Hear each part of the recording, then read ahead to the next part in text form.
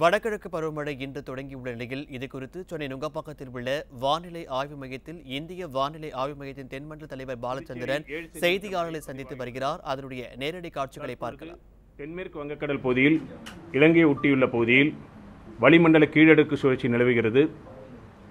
அடுத்து வரும் ஐந்து தினங்களை பொறுத்தவரையில் தமிழகம் புதுவை காரைக்கால் பகுதிகளில் ஒரு சில இடங்களில் மிதமான மழை பெய்யக்கூடும். கனமழை பொறுத்தவரையில் அடுத்து வரும் இருபத்தி நான்கு மணி நேரத்திற்கு தெற்கு தமிழகத்தின் கடலோர மாவட்டங்கள் டெல்டா மாவட்டங்கள் கடலூர் விழுப்புரம் உள்ளிட்ட வட தமிழக கடலோர மாவட்டங்களில் ஓரிரு இடங்களில் கனமழை பெய்யக்கூடும். சென்னை மற்றும் புறநகரை பொறுத்தவரையில் அடுத்து வரும் இருபத்தி நான்கு மணி நேரத்திற்கு நகர சில பகுதிகளில் மிதமான மழை பெய்யக்கூடும். மீனவர்களுக்கான எச்சரிக்கையை பொறுத்தவரையில் அடுத்து வரும் இரண்டு தினங்களுக்கு மீனவர்களுக்கான சிறப்பு எச்சரிக்கை எதுவும் இல்லை. சரிங்களா. சீசன் ஸ்டார்ட் ஆயிருக்கு. குறிப்பா முப்பத்தொன்னாம் தேதியில இருந்து மேகமலைக்கான வாய்ப்பு சொல்லியிருக்கோம். அது எப்படி இருக்கும் சார்? நார்த் டிஸ்ட்ரிக்ட் சொல்லிருக்கும் போது சென்னை அதில் இன்க்ளூட் ஆகல. அதாவது தற்பொழுது தற்பொழுது நிலவரப்படி பாரு- பார்த்தீங்கன்னா நமக்கு வந்து இப்போ தென் அந்த வளிமண்டல கீழடுக்கு சுழற்சி இலங்கை தென்மேற்கு வங்கக்கடல் பகுதியில் இலங்கையை ஒட்டி நிலவுகிறது. அது கிழக்கிலிருந்து மேற்காக நகர்ந்து வரக்கூடிய சூழ்நிலையில் முப்பத்தொன்றாம் தேதி வட தமிழகத்துடைய மாவட்டங்கள் சிலவற்றில் இருந்து ராணிப்பேட்டை திருவள்ளூர் காஞ்சிபுரம் ஆகிய மாவட்டங்களில் ஓரிரு இடங்களில் கன முதல் மிக கனமழைக்கான வாய்ப்பு உள்ளது தற்போதைய நிலவரப்படி சென்னைக்கு மிதமான மழை இருக்கிறது.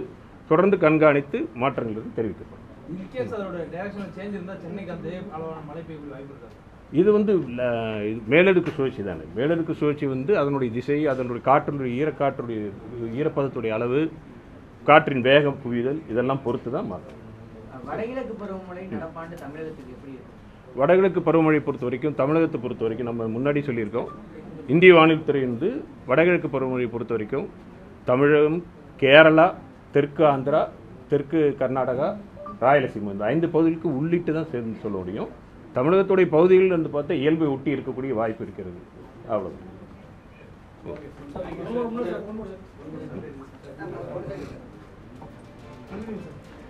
ஈரப்பதத்துடன் கூடிய கிழக்கு திசை காற்று வங்கக்கடல் மற்றும் தென்னிந்திய பகுதியில் நிலவி வரும் நிலையில் தமிழகத்தின் கடலோர பகுதிகள்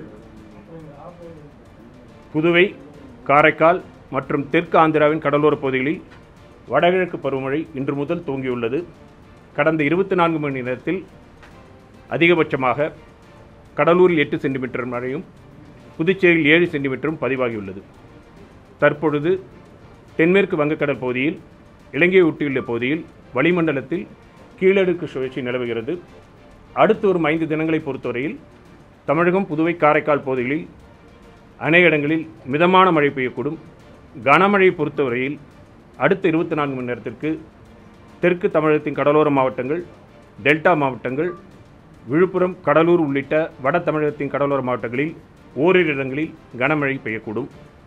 சென்னை மற்றும் புறநகரை பொறுத்தவரையில் அடுத்து வரும் இருபத்தி நான்கு மணி நேரத்திற்கு நகரின் சில பகுதியில் மிதமான மழை பெய்யக்கூடும். அடுத்து வரும் இரு தினங்களுக்கு மீனவர்களுக்கான சிறப்பு எச்சரிக்கை எதுவும் இல்லை. ஆமாம் பண்ணணும் இல்லை முப்பத்தொன்னாம் தேதி வந்து அடுத்த மாதத்திற்கான வானிலை முன்னறிவிப்பு வெளியிடப்படும். முப்பத்தொன்னாம் தேதி.